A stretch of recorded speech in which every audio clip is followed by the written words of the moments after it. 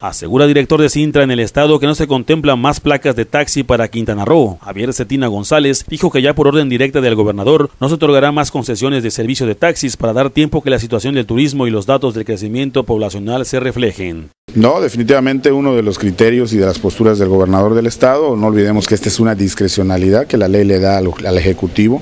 y una de las primeras instrucciones que me dio el gobernador Roberto Borges a la hora de nombrarme director de Comunicaciones y Transportes del estado es precisamente eso, no más concesiones por lo menos en 3, 4 años para efecto de... Eh, pues dejar que el propio mercado vaya eh, teniendo más demanda y la oferta que hoy se tiene pues sea congruente con lo que realmente se, se requiere en el Estado. Sí, efectivamente, hoy tenemos unos, eh, una oferta mayor que la propia demanda y bueno, esto ha, ha dado una, una, una, decisión o una postura al gobierno del Estado y obviamente a la dirección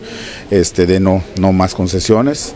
este, en ninguna modalidad de, de, de, del transporte en Quintana Roo, salvo que el propio mercado lo vaya, lo vaya requiriendo. De taxis sí prácticamente están totalmente saturados en todos los sindicatos. Asimismo, Cetina González habló sobre las medidas que se implementan para evitar que el transporte pirata se propague en la isla, donde se han tenido ya varios conatos de enfrentamientos con taxistas. Me parece que ya es una situación de, la Dirección General de Tránsito.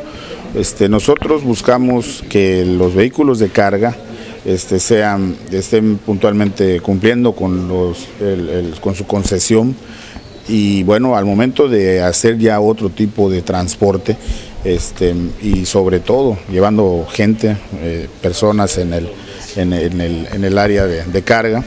pues sí ya compete directamente a la Dirección General de Tránsito. Nosotros hemos acudido a la dirección para que, bueno, quizás en conjunto podamos hacer operativos,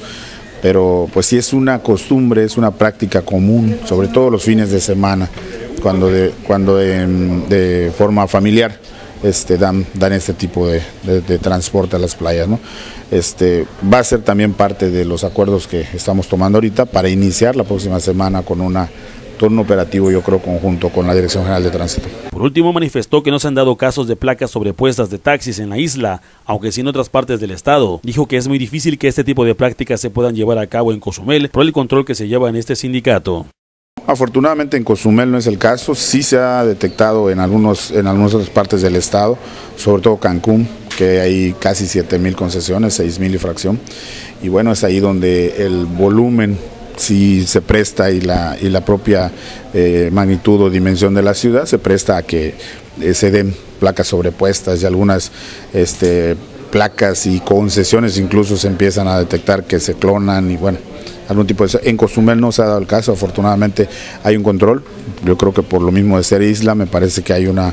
una un control mayor. ¿no? ¿Fuerte la sanción para este Sí, definitivamente, ese es un, es un grave este, delito, es una grave falta y lleva una sanción, yo creo que hasta más de 800 salarios mínimos, que es el tope que tenemos nosotros para sancionar, pero bueno, casi siempre en los casos donde les se ha presentado, te repito, en otros puntos del Estado, la sancionamos con el máximo este, eh, rigor que, que nos da la, la, la, ley, la, el reglamento. Para Reporteros Sin Fronteras, con imágenes de Eduardo Bacap, informó Ricardo Méndez.